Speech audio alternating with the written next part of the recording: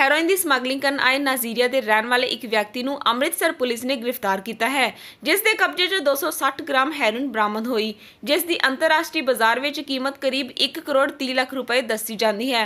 Police ਨੇ ਮੁਲਜ਼ਮ ਵਿਰੁੱਧ ਐਨਡੀਪੀਐਸ ਐਕਟ ਅਧੀਨ ਕੇਸ ਦਰਜ ਕਰਕੇ ਉਸ ਨੂੰ ਮਾਨਯੋਗ ਅਦਾਲਤ ਦੇ ਨਿਰਦੇਸ਼ਾਂ ਤੇ ਜਾਂਚ ਲਈ ਪੁਲਿਸ ਰਿਮਾਂਡ ਤੇ ਲੈ ਲਿਆ ਹੈ।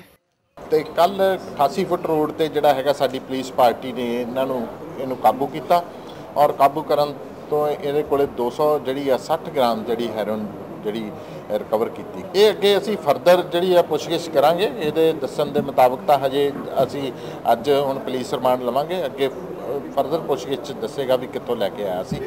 ਅੰਮ੍ਰਿਤਸਰ ਤੋਂ bureau report U24 live TV